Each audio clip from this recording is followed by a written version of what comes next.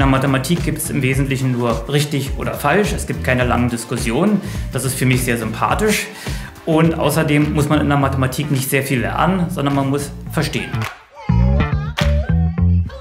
Wir beschäftigen uns mit der Entwicklung von mathematischen Verfahren zur Extraktion von Messdaten. Das braucht man zum Beispiel in der medizinischen Bildverarbeitung, wo man Strahlen durch einen Körper durchschickt, dann versuchen will, auf die Dichteverteilung im Inneren des Körpers zu schließen. Gegensatz zu Massenuniversitäten haben wir ein hervorragendes Betreuungsverhältnis. Die Studenten kennen ihre Professoren. Das ermöglicht es ihnen relativ schnell auch mit der Forschung zu beginnen.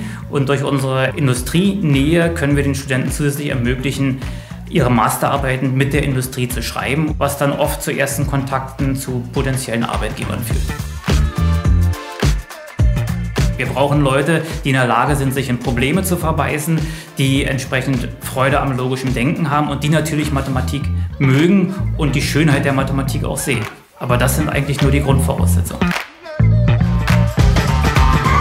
Mein Name ist Ronny Ramlau. Ich bin 2008 an die JKU gekommen und seitdem bin ich hier Professor für Industriemathematik.